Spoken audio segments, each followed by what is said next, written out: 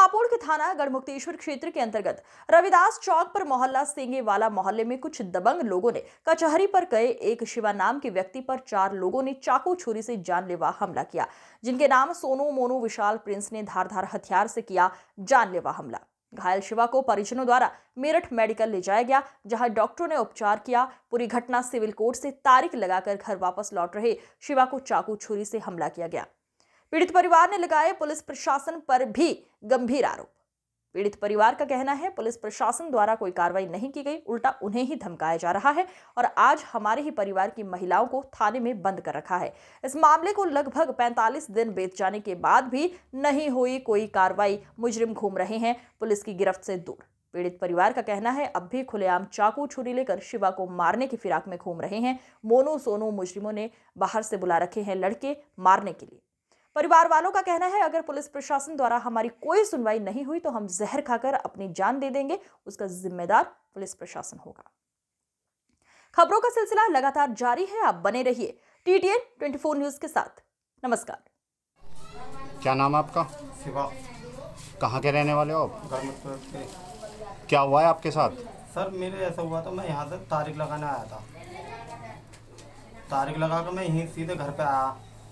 तो चार लड़के आए। मोनू विशाल सोनू फ्रांस तो उन्होंने सर मेरे यहाँ पे मैं खड़ा था पीछे से बाहर कर दिया इन्होंने चार जगह चक्कू मार दिया उन्होंने मेरे।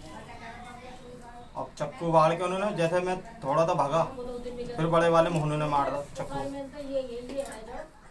ये मोनू कौन है? सर मोनू? चार भैया सर ये। सरमन का है। कहाँ के रहने वाले हैं? आताराम बस्ती के। आपकी कोई जाति दुश्मनी थी इनसे कोई पहले? कोई दुश्मनी नहीं थी सर। फिर इन्होंने आपको हमला क्यों करा? आपके ऊपर आके? सर ये हमला नहीं करा था। इन्होंने मुझे कई दिन तक वो लगा रहा था मुखबरी लगा रही थी कई दिन तक। किस लिए? मानने के लिए सर जान सर सर ये पहले से ही धमकी देते थे इसे मारने के लिए इनके आपस में एक बार झगड़ा हुआ था लेडीज़ लेडीज़ को उसी बात को लेकर सर इन्होंने चिट्ठी रख ली इन्होंने पंचायत और सर ये जो है छुरी वगैरह सर इन्होंने पहले भी कोशिश करी थी इन्होंने एक एक आध बार लेकिन अब इन्होंने देखा ये तारीख लगा के आता है अकेला था ये इन्होंने जो है पीछे से बाहर कर दिया है। जो है। आपने इसकी तहरीर दी थी थाने में? जी थी सर। तो पुलिस ने क्या बोला? पुलिस ने सर कुछ भी नहीं करा उन्होंने भगा दिया और हमें। उसके बाद आपने कहीं एसपी साहब के पास सर एसपी साहब के पास गया था तो वहाँ एक पुलिस वाला था। उन्होंने बाहर से मुझे एक इंस्पेक्टर साहब को फ़ोन करा था उन्होंने मुझे बाहर से भगा दिया। आपके दरोगा जो है उनका क्या नाम जो इस केस को देख रहे हैं? राजवीर। कुछ कार्रवाई नहीं कर पा रहे कुछ भी नहीं कर रहे सर वो और हमें मार रहे हैं और हमें ही भगा रहे हैं। हम दरोगा जी के पास जाते हैं और हमें धमकी देते हैं और हम से कहते हैं तुम पे केस लगा दूँगा।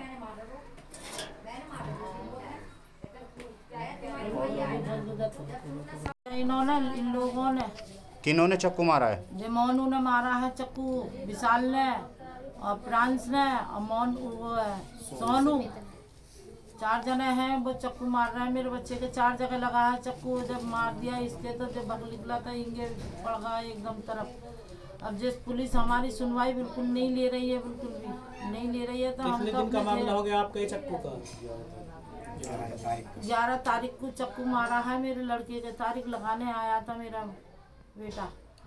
और ऐसा है जब नहीं सुन रही है पुलिस तो हम तो सारे जहर खा कर अपने आप सो जाएँगे पुलिस जानेगी फिर इस बात को।